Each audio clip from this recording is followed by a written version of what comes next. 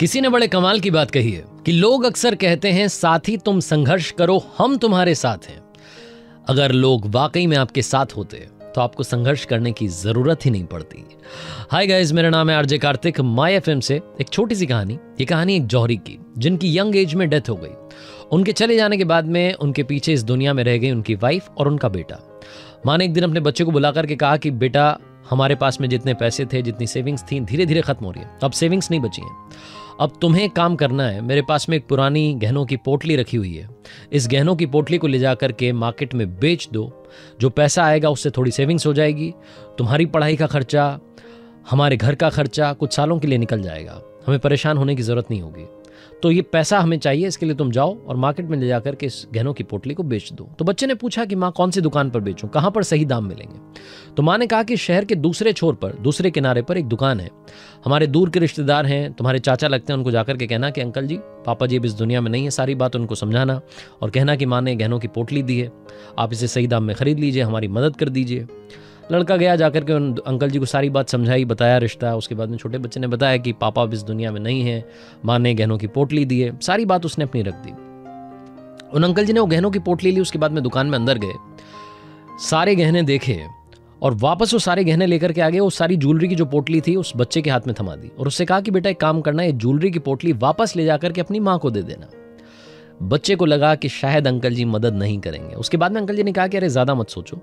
माँ को कहना कि अभी मार्केट मंदा चल रहा है, सही दाम नहीं मिलेंगे, इसलिए ये गहनों की पोटली संभाल करके रखें। कुछ साल बाद जब मार्केट थोड़ा ठीक हो जाएगा, तब इसे बेच देंगे। तब तक परेशान ना रहें। तुम्हारे घर का खर्चा, तुम्हारी पढ़ाई का खर्चा तुम्हारे अंकल जी उठाएँगे, तुम परेशान मत रहना। बस अपने शौक को थोड़ा कंट्रोल करना, मैं अपनी ज़रूरतों को थोड़ा कंट्रोल करूँगा, मिल बांट करके काम करेंगे। एक छोटा सा काम तुम्हें मेरा करना होगा। लड़के को लगा कि अब शायद कुछ बड़ी डिमांड रखेंगे। तो अंकल जी ने कहा कि तुम्हें स्कूल के बाद में थोड़ा बहुत जो टाइम मिले, एक दो घंटे का शाम में, मेरी दुकान पर आना, थोड़ा काम सीखना, मेरी मदद कर देना, मुझे भी एक साथी की ज़रूरत है तो तुम आ जाओगे तो थोड़ा काम निकल जाएगा। लड़का गया खुशी खुशी माँ को जाकर के सारी बात बताई कि मम्मी बड़े अच्छे इंसान हैं, बड़े अच्छे चाचा जी हैं। उन्होंने ज्वेलरी वापस दे दी, कह रहे हैं कि इसको संभाल करके रखो, जब मार्केट ठीक हो जाएगा तब बेच देना। और तब तक के लिए मेरा खर्चा, पढ़ाई का, घर का खर्चा सब वो उठाएँगे, कोई परेशान होने की ज़रूरत नहीं है। वो कह रहे हैं कि बस शाम में आकर के एक दो घंटे दुकान पर काम सीख लेना, काम में मेरा हाथ बटा देना। माँ बड़ी खुश हुई, जाकर के ऊपर वाले को प्रणाम करने लगी कि आपका धन्यवाद है। इस दुनिया में अभी भी ऐसे लोग मौजूद हैं जो कि हमारी मदद करना चाहते हैं। ऐसे रिश्तेदारों का धन्यवाद कि वो में हमारी ज़िंदगी में आए। बहुत कुछ माँ ऊपर वाले को धन्यवाद करते हुए बोलने लगी। साल पर साल बीतते चले गए, यही रूटीन चलता रहा, लड़का स्कूल जाता, वापस आता, शाम में थोड़ा वक्त मिलता जाकर के दुकान पर उन अंकल जी के। काम सीखता और उनके काम में हाथ बटाता धीरे धीरे उसे काम की समझ होने लगी थी ज्वेलरी की समझ होने लगी थी। एक दिन उन अंकल जी ने उस बच्चे से कहा कि, बेटा, एक काम करना, कल जब शाम में आओ तो वो ज्वेलरी की पोटली लेकर के आना, अब मार्केट थोड़ा ठीक हो गया है, अब सही दाम मिल जाएँगे। लड़का गया, जाकर के माँ से कहा कि, माँ, अब सही वक्त आ गया है, हमें गहने बेच देने चाहिए। माँ गई अंदर से वो ज्वेलरी की पोटली लेकर के आ गई, बच्चे के हाथ में रख दी। बच्चा अपने कमरे में गया। कमरे में गया तो उसको लगा कि एक बार ये गहने देख लेता हूँ कि कौन कौन सी ज्वेलरी है, आखिर है क्या इसमें? उसे समझ तो हो ही चुकी थी, उसने गहनों की पोटली खोली और जैसे ही वो पोटली खुली, लड़का हक्का बक्का रह गया, शॉक्ड था, हैरान था, उसके पैरों के नीचे से ज़मीन खिसक गई। सारी ज्वेलरी नकली थी। लड़का समझ नहीं पाया कि कल जब जाऊँगा उन अंकल जी के पास में तो क्या मुँह लेकर के जाऊँगा? ये तो सारी नकली है। अगले दिन हिम्मत करके वो खाली हाथ वहाँ पहुँचा। अंकल जी ने पूछा कि बेटा, क्या हुआ? ज्वेलरी की पोटली लेकर के नहीं आए? तो उस लड़के ने कहा कि, अंकल जी, वो सारी ज्वेलरी नकली है और मैं आपसे बस ये पूछना चाहता हूँ, मुझे समझ नहीं आ रहा है कि आपको क्या कहूँ।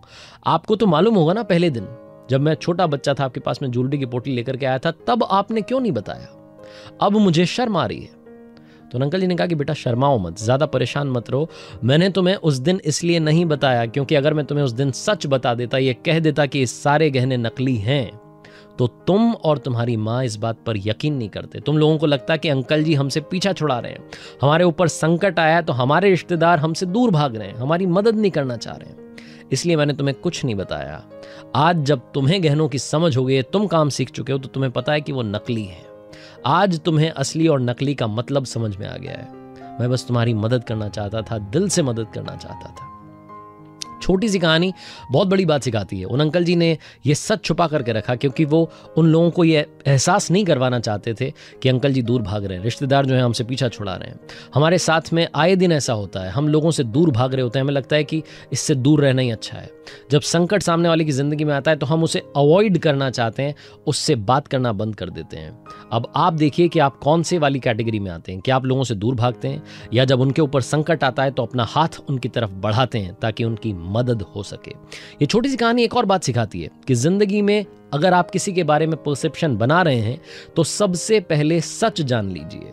वो सच क्या है जब आपको मालूम चल जाएगा तो आपके दिमाग में पिक्चर थोड़ी सी क्लियर हो जाएगी। उस लड़के को जब समझ में आ गया कि ज्वेलरी वाकई में नकली है तो उसका जो सम्मान था वो अंकल जी के लिए और बढ़ गया।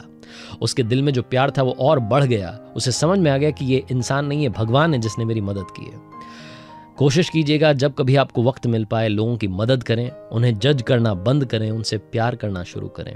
ज्ञान सबके पास है वो मत बांटिएगा। मुस्कान बांटिए इस दुनिया को इस वक्त इसी की ज़रूरत है। आरजे कार्तिक बस यही कहना चाहता है कर दिखाओ कुछ ऐसा कि दुनिया करना चाहे आपके जैसा।